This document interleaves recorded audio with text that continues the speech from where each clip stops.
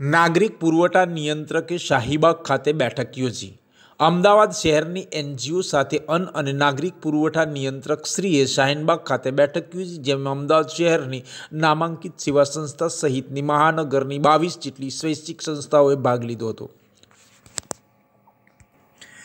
એનજીઓએ નવા barcode ration card બનાવવા, NFSA યોજના હેઠળ શ્રમિક તેમજ બાંધકામ યોજના સાથે સંકળાયેલા અને વિસ્થાપિત જરૂરતમંદ પરિવારોને તાકીદે અને સુરક્ષા યોજના હેઠળ સરળતાથી અનાજ મળી રહે તેવી વ્યવસ્થા ગોઠવવા સૂચન કર્યું હતું. જે એનએફએસએ રેશન કાર્ડ સાયલન્ટ થયા હોય અને ત્રણ માસ કે તેથી વધુ સમયથી બંધ રહેલા રાશન કાર્ડ ચાલુ કરાવવા રેશન કાર્ડ ધારકોને કોઈ હાડમારી ના પડે તે માટે પુરવઠા વિભાગ હકારાત્મક અભિગમ દાખવે તેવી માગણીને લાગણીઓ સ્વૈચ્છિક સંસ્થાઓએ કરી હતી.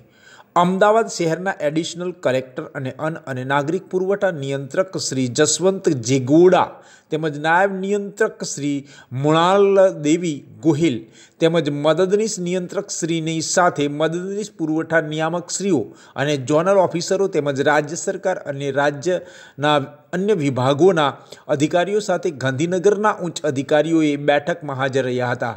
મહાનગરની એનજીઓના પ્રતિનિધિઓએ શહેરના તમામ ઝોનમાં બારકોડ રેશન કાર્ડ તેમજ એનએફએસએ યોજના હેઠળના કેમ્પ પુરવઠા વિભાગ સાથે સંકલન કરી યોજવા રજૂઆત કરી હતી.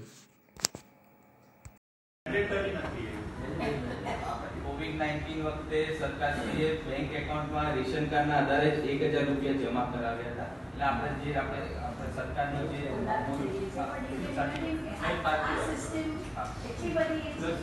નથી આ ડોક્યુમેન્ટ સહજ નથી એટલે આટલા બધા ડોક્યુમેન્ટ એટલે આજરોજ અમદાવાદ શહેરમાં વસતા નાગરિકો રાષ્ટ્રીય અન્ન સલામતીના કાયદા હેઠળ વધુમાં વધુ સંકળાય. એમાં રહી ગયેલા કોઈ વ્યક્તિ હોય, તો એ વ્યક્તિ પણ એની સાથે જોડાય તે માટે. અમદાવાદ શહેરમાં જુદા જુદા ક્ષેત્રોમાં નાગરિકોની સુખાકારી માટે કામ કરતી સ્વયંસેવી સંસ્થાઓના પ્રતિનિધિઓ સાથે એક ખૂબ સારા માહોલમાં મિટિંગ થઈ. અને આ મિટિંગમાં લગભગ ત્રીસ જેટલી સ્વયંસેવી સંસ્થાઓએ ભાગ લીધો. અમદાવાદ શહેરની ખ્યાતનામ સંસ્થાઓ આ સાથે જોડાઈ. તેના નાના નાના પ્રશ્નો કે જે પ્રશ્નોનું સરળતાથી નિરાકરણ થઈ શકે તે માટે ખૂબ જ સારા હકારાત્મક માહોલમાં ચર્ચા થઈ. અમને આશા છે કે આવનારા દિવસોમાં જે લોકોને કોઈ નાની મોટી મુશ્કેલી હોય તો ઝડપથી ઝડપથી એમને રાષ્ટ્રીય અન્ન સલામતી કાયદા હેઠળ આવરી લેવા માટે આપણે સૌ સાથે મળીને કામ કરી શકીશું. ધન્યવાદ. ખાસ કરીને રેશન કાર્ડ અને અનાજને લગતી સ્વૈચ્છિક સંસ્થાઓએ અનેક રજૂઆતો કરી અને તેનો હકારાત્મક ઉકેલ પણ આપી લાવ્યા છો. કઈ કઈ બાબતો પર નિષ્કર્ષ થયો અને ખાસ કરીને એનજીઓની જે વર્ષોથી માંગણી હતી કે રેશન કાર્ડ ના હોય એને અને રેશન કાર્ડ હોય તો અનાજ કઈ રીતે સરળતાથી પ્રાપ્ત થઈ શકે? ખાસ કરીને એનજીઓની એક પ્રશ્ન હતો કે ઘણા લોકો પાસે પોતાના રહેઠાણનો પુરાવો હોતો નથી. જેમ ભારતના ચૂંટણી પંચ દ્વારા કોઈ નાગરિક જે જગ્યાનો સામાન્ય રહેવાસી હોય તેની ખાતરી કરી અને તેને ચૂંટણી કાર્ડ આપવાની એક જોગવાઈ હોય છે. તેમ આપણા આ કેસમાં પણ જો કોઈ મારું નામ પ્રીતિ છે. Centre for labour research and action અસંગઠિત અને પ્રવાસી મજદૂરોના મુદ્દા પર શોધ અને એમના અધિકારો અને કલ્યાણ માટે કામ કરતી આ સંસ્થા છે, જે અમદાવાદ અને ગુજરાતમાં પાછલા ચૌદ વર્ષથી કામ કરે છે. અને આજનો જે અન્ન સુરક્ષાનો મુદ્દો છે, એ દુર્ભાગ્યપૂર્ણ છે કે અમારા પ્રવાસી અને અસંગઠિત ક્ષેત્રના મજૂરો બારથી સોળ કલાક કામ કરવા પછી પણ એમને, એમનો જે પગાર, વેતન જે સ્તરનું છે, એમનું જીવન સ્તર જે છે, એમાં અન્ન સુરક્ષા એક મોટો પ્રશ્ન ઉઠે છે. પ્રવાસી હોવાથી એમનું જે મૂળ સ્થાને જે અધિકાર છે, એ મળે, ના મળે, પણ અહીંયા જ્યારે પ્રવાસ કરીને આવે છે, ત્યારે એ લોકોને તમે ને હું ખરીદીએ છીએ એ ભાવ પર અન્ન ખરીદવું પડે છે અને અન્ન સુરક્ષા એક મોટો એમનો પ્રશ્ન છે. ફિંગરપ્રિન્ટ આપવાની રહેતી હોય છે. એ જરૂરિયાતો એટલા માટે એડ કરવામાં આવેલી છે. અને જગ્યા, કઈ જગ્યાએ રહે છે એમાં તો ઘણી બધી વખત ઘણા કિસ્સાઓમાં અમારા અધિકારીઓ જે સ્થળ સ્થિતિ પર વિઝિટ કરી અને કેસ ટુ કેસ બેસિસ પર નિરાકરણ લાવતા હોય છે. જે જગ્યાએ વ્યક્તિ હાલમાં રહે છે, ત્યાંનું એમની પાસે એડ્રેસ પ્રૂફ નથી હોતું, તો એના માટે જરૂરિયાતમંદો હોય છે. બીએસએસએમ સાથે પણ આપણે કામગીરી કરી, તો એવા ઘણા બધા લોકો હતા જેમની પાસે એડ્રેસ પ્રૂફ નહોતા અથવા તો ઝૂંપડામાં રહેતા વ્યક્તિઓ હોય, એવા પણ વ્યક્તિઓ એના પણ રાશન કાર્ડ કાઢી શકાય છે અને કાઢી આપેલા પણ છે. That is not a problem. But એક બેસિક ડોક્યુમેન્ટેશન છે, એનું તો requirement as part of the system એ જરૂરી છે, એ સંસ્થા તરીકે આપણે સમજીને જો લાભાર્થીને સમજાવીએ, તો વધુ સારી રીતે આપણું પ્રોસેસ ઇઝી રીતે છે તો ધક્કા ના ખાવા પડે કોઈ પણ વ્યક્તિને કે આજે આટલી વિગતો લઈને આવ્યા છે, પછી બે ચાર વસ્તુઓ વધારે માંગવામાં આવે, એ લઈને ફરીથી આવે ક્યાંક, એમાં બે ચાર વખત આવવામાં ક્યાંક ક્યાંક આજે આખો પ્રોસેસ છે ડિલેવ થઈ જતો હોય છે, એવું ના થાય. એટલે આપ લોકોને જ્યાં જ્યાં પણ આવા કોઈ કન્ફ્યુઝન છે, તો આપ પણ સમજી લેશો અમારી ઓફિસનો વિઝિટ પણ કરી શકો છો એના માટે. અને મિહિરભાઈ ત્યાં રાશન કાર્ડની કામગીરી ખાસ જોવે છે એટલે બધા ઝોન સાથે ઘણી વખત કોર્ડિનેટ કરતા હોય છે.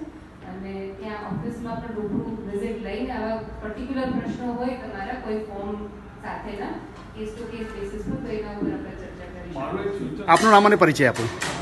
વિપુલ પંડ્યા જનરલ સેક્રેટરી બાંધકામ મજદૂર સંગઠન.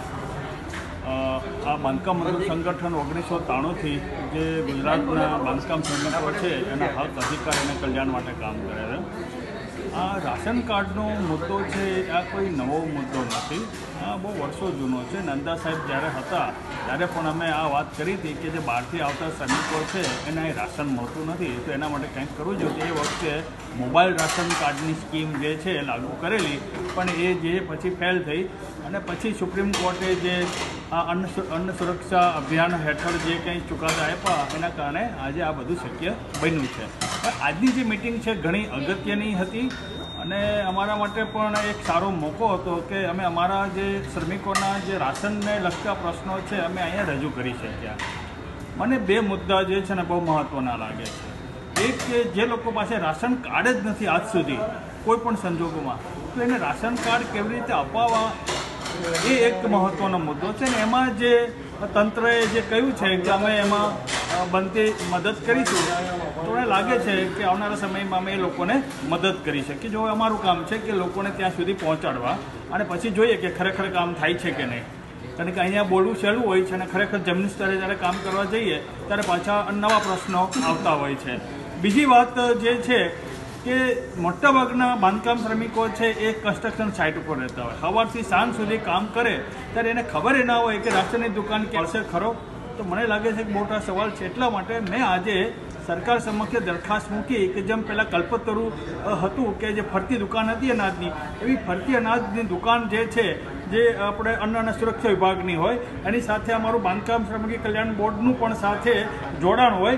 અને દરેક કન્સ્ટ્રક્શન સાઇટ ઉપર એક વારો હોય કે ભાઈ જેની પાસે આ કૂપન છે, એને રોજ સાંજ એટલા વાગે ગાડી ઊભી રહે અને લોકો ત્યાંથી અનાજ લે. તો આવી કોઈ સિસ્ટમ જો લોકભોગ્ય બનાવે તો મને લાગે છે કે સરકાર જે છે ને એ દરેકના અન્ન સુરક્ષા પૂરી પાડવામાં સફળ થશે. બાકી બધી વાતો છે. ઘણી બધી સિસ્ટમ સરકાર દ્વારા ડેવલપ કરેલી છે. એ બધી કામગીરી બેક ઓફિસ કામગીરી માટે પણ ઓફિસને સમય જોઈએ કે એ કામગીરી એ લોકો બે વાગ્યા પછી કરતા હોય છે. Which we all should understand and appreciate અને જેવી રીતે બેંકમાં આપણે સમજી જઈએ છીએ કે બે વાગ્યા પછી આપણે કેશ જમા કરાવીએ એટલે ગમે તેટલું નહીં કરી શકીશું.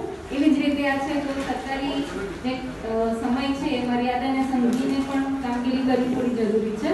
અને સાથોસાથ જેટલા જેટલા ક્રાઇટેરિયા આવક મર્યાદાની એક વાત છે આવક મર્યાદા જે નીતિગત જે પ્રશ્નો છે પ્રશ્નો માટે હું અત્યારે તમને પ્રોમિસ ના આપી શકું. પણ જે મેડમે વાત કરી કે એમનો જે પ્રશ્ન છે, એ પ્રશ્ન આપણે ચર્ચા કરી શકીએ કે ભાઈ એવા પ્રશ્ન છે, સો ટકા બેથી અઢી લાખ લોકો હોય, ધારો કે ગાઈડનો પ્રશ્ન છે, તો એ પ્રશ્નમાંથી જે જેન્યુઇન પ્રશ્ન છે, ત્યાં આપણે સારું કેમ કરી શકીએ અથવા તો તમારા તરફથી વિગત આવે તો અમે એનો મતલબ કે ત્યાં માણસને મોકલી એના સિવાય તમને જ્યાં મુશ્કેલી મળે ત્યારે તમારા વતી કોઈ પણ કામ કરતું હોય, ત્યારે સિંગલ પોઈન્ટ કોન્ટેક્ટ મિહિરનો સંપર્ક તમે કરી શકો છો. માત્ર કેન્દ્રની સ્વયંસેવી સંસ્થાઓ જે કામ કરી રહી છે. અને અમે કરી લઈએ અથવા સ્થળ તપાસ કરી લઈએ લાઇટ બિલ અથવા ટેક્સ બિલ જરૂરી નથી. એટલે ફરજિયાત નથી પણ રેશન કાર્ડ ઇસ્યુ કરવા માટે જો અમને લાગે કે આ વ્યક્તિને અહીંયા સ્થળ તપાસ કરીને લાગે છે કે ઇસ્યુ કરવા જેવું છે તો સ્થળ તપાસ કરીને પણ અમે નિર્ણય લઈએ છીએ. એટલે રેશન કાર્ડમાં આ વસ્તુ છે.